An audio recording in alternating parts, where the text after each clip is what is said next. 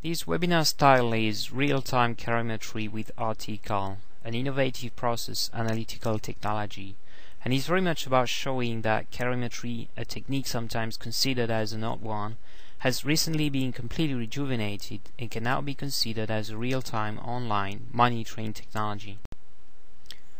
I suggest to begin with a very brief introduction to why and how calorimetry is used today in the development of chemical processes in the pharma and chemical industries. We then take a look at how real-time calorimetry, dubbed RT-Cal, works. Finally, we'll go together over a few examples outlining the main benefits of real-time calorimetry. There are mostly four areas today where calorimetry is applied in chemical reaction development. One is process safety, where people look at process parameters like heat of reaction, heat capacity, delta T adiabatic, process maximum temperature. The second area is kinetics. Combination of calorimetry with other techniques like React-IR is very common to obtain reaction information like heat of reaction, but also activation energy and reaction order. Still, a further one is crystallization. Crystallization studies can greatly benefit from the use of calorimetry. For instance, to determine time and temperature when crystallization occurs, as well as heat of reaction and heat of distribution.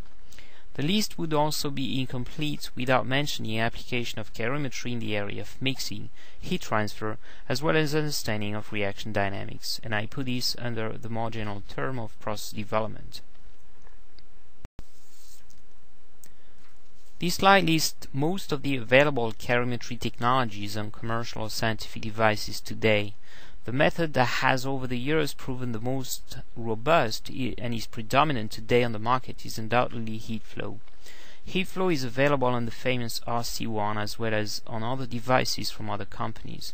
Heat flow is based on the simultaneous measurements of the reaction temperature, TR, and jacket temperature, TJ. More about this later in my talk. Another one is power compensation, which principle is based on the use of a heater inside the reaction mixture. There is also heat balance, a well-established method based on the temperature difference between jacket inlet and outlet. A method that, that appeared on the market a couple of years ago is co-flux or constant flux. Temperature control in this case is provided by a series of coolant coils that can be opened or closed on demand. RT-Cal is a new method based, uh, made available on, to the market last year and provided by Mettler Toledo on the RC1 as a complementary method to the existing flow technology. Now let's see a little bit more in detail how RT-Cal works. The RT-Cal technology is based on the use of sensors attached to the reactor wall. We'll see where exactly later. There is a sensor wrapped horizontally at the bottom and another one vertical in the back. The horizontal one at the bottom detects the heat coming in and out of the vessel. The vertical sensor in the back helps determine automatically the heat exchange area between the reaction mixture and the vessel wall.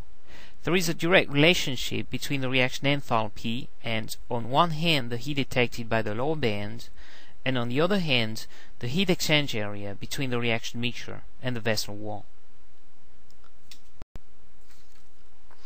This is a large picture of the RT-Cal vessel, where you see the two types of sensors at the bottom and in the back.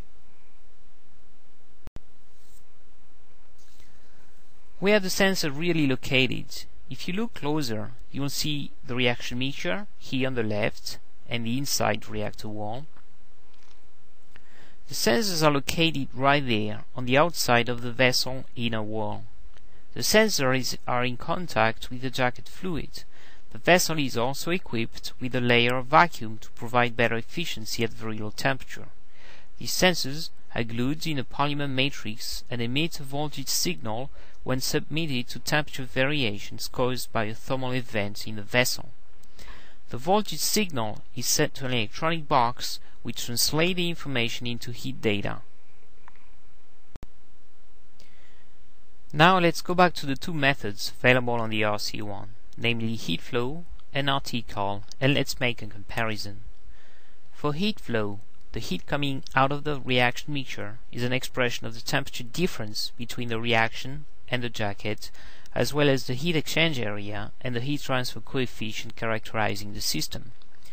This technique requires to know what UA is, which makes calibration steps necessary, typically before and after the reaction event. Also, the heat exchange area A has to be visually determined regularly during the reaction. So you really have to wait until the final calibration is done before you can get quantitative data about your reaction parameters. Despite the great advantages of heat flow, it's not a process analytical technology because you cannot really walk away from the system. It requires human presence. On the other hand, RTCAL does not require any calibration, so no need to wait until a final calibration to get all the data. Also, thanks to the vertical sensor, the heat exchange area is automatically determined without any operator input, so the whole process can be fully automated and left unattended. Now I'd like to illustrate what I just said using a few examples. This is the kind of setup we used. This is an RC1 outfitted with an RTCAL vessel. You can see the sensors right there. We also use a React-IR instrument called React-IR IC10 for online FTIR data acquisition.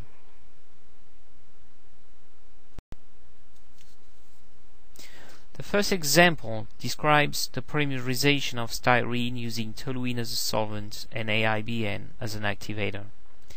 Here are the reaction conditions. There is an initial charge of styrene and toluene. The temperature is raised to 85 degrees, AIBN is added, then the mixture is held at constant temperature for 6 hours. The reaction mixture is next cooled down to 25 degrees and hydroquinone is added to quench the reaction. From a process characterization standpoint, we want to know the reaction time, the reaction enthalpy and the maximum heat output. It's a polymerization reaction. The reaction mixture becomes fairly viscous and as such the heat transfer coefficient gets lower.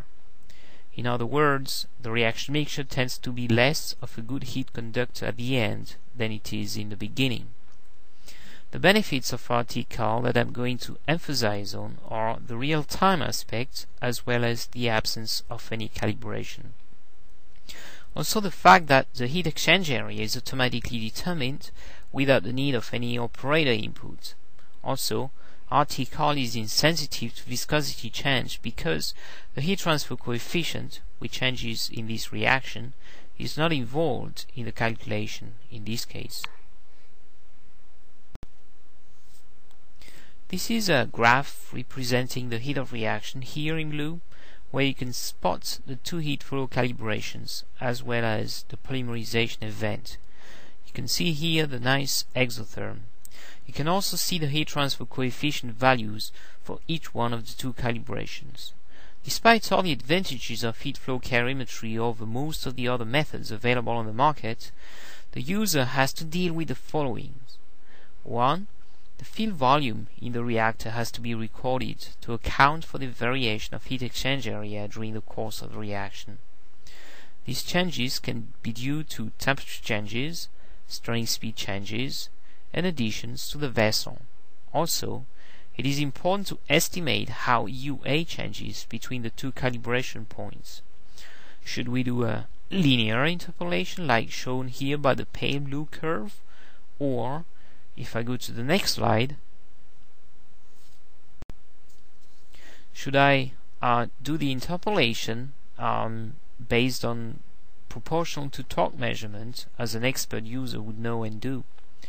The torque value is increasing and presumably proportionally to reaction conversion, as this is a polymerization reaction. Torque is certainly what makes most sense, and an expert user would certainly not miss this, but as you can see here, the choice made regarding interpolation has a major impact on what the calculated value for reaction enthalpy is. There is like a 30% difference between the two values. The shape as well is going to be impacted and with this the kinetic profile for people who use the heat profile for kinetic modeling. So in brief, when running a heat flow calorimetry and a polymerization reaction, there is some level of evaluation and understanding of calorimetry concepts that are necessary in order to obtain reliable results. Now, the same experiment run using RT-Cal as a calorimetry method looks slightly different. No need for calibration before and after. The fill volume or virtual volume is determined automatically. No need for operator input. You can see here the nice heat of reaction profile. The results obtained using RT-Cal are very close to the ones obtained using heat flow but without the level of evaluation and expertise that heat flow requires. In other words, RT-Cal is a transparent, effortless calorimetry technique. Besides polymerization reactions, other application or uses could be precipitation or crystallization, or any example where the viscosity or thickness of the reaction mixture changes over time. In these examples, RT-Cal could be also uh, extremely useful. I'd like to move to the second example now. The question that RT-Cal answers can be very simply laid out the following way. You have an exothermic reaction run in a semi-batch mode where the reagent is added over time. The plant vessel has a limited cooling capacity, like any plant vessel, and you need to determine the optimal dosing rate so the process is run fast, but not to the point where the reaction temperature may get out of control. How can you use RT-Cal to do the job in the most effective way?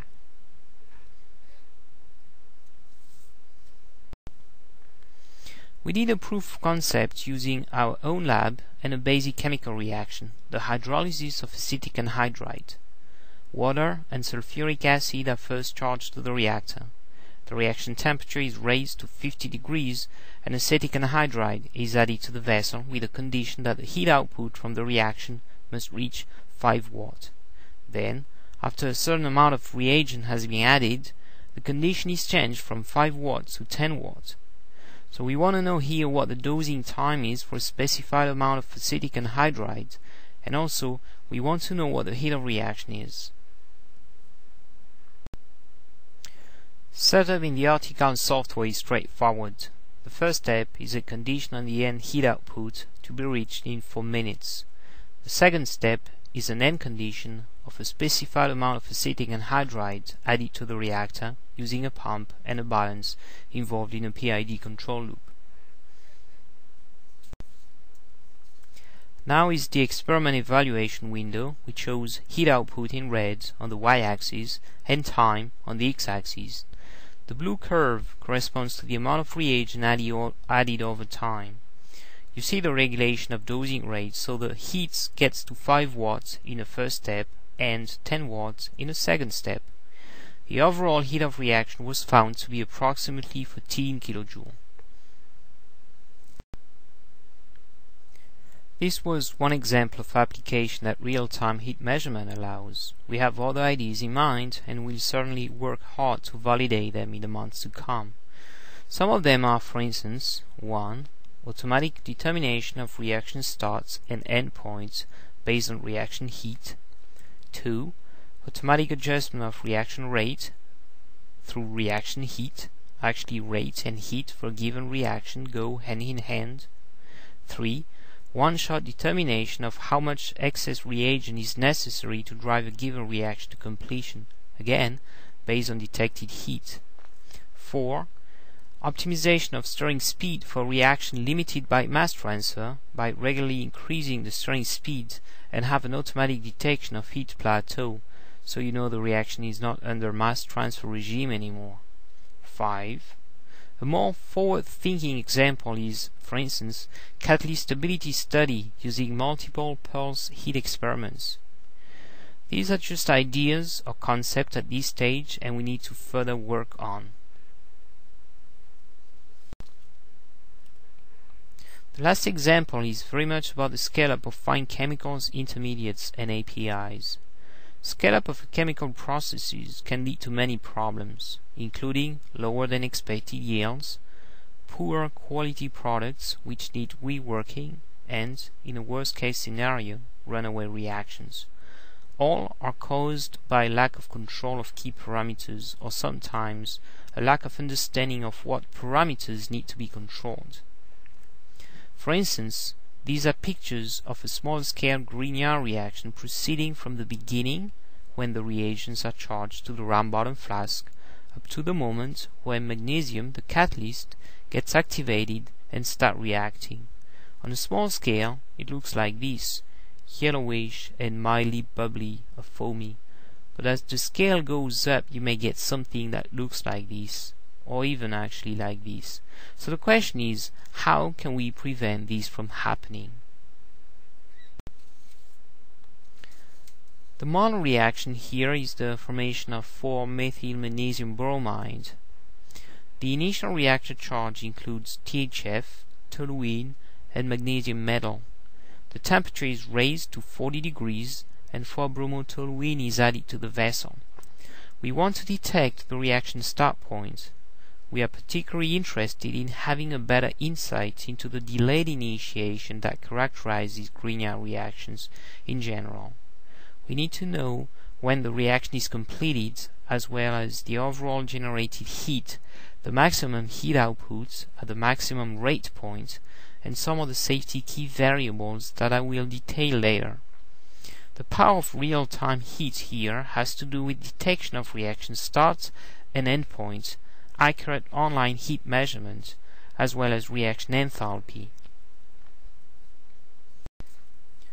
As shown on these slides, when you use heat flow as a method, the information you get while running the reaction is mostly qualitative. You do get a good idea when exactly the reaction starts and stops, thanks to the TR-TJ signal and the overlap with the dosing profile, but at this point the maximum heat output is not known, neither is the thermal accumulation value.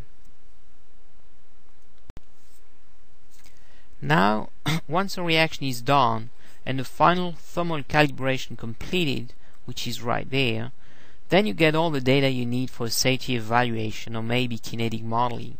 You get the reaction enthalpy, the maximum heat output, thermal accumulation value, delta T adiabatic, heat transfer coefficient, reaction heat capacity, and so on and so forth. When running the same reaction with RTCAL, the difference is that you get most of the data while running the reaction without having to wait until the end of the final calibration. You still need to end until you, you still need to wait until the end of the reaction, which happens sooner than the end of the final calibration though, for parameters that require the reaction to be finished, like delta T adiabatic or maximum temperature of the reaction and thermal accumulation as well. I like to come to a final conclusion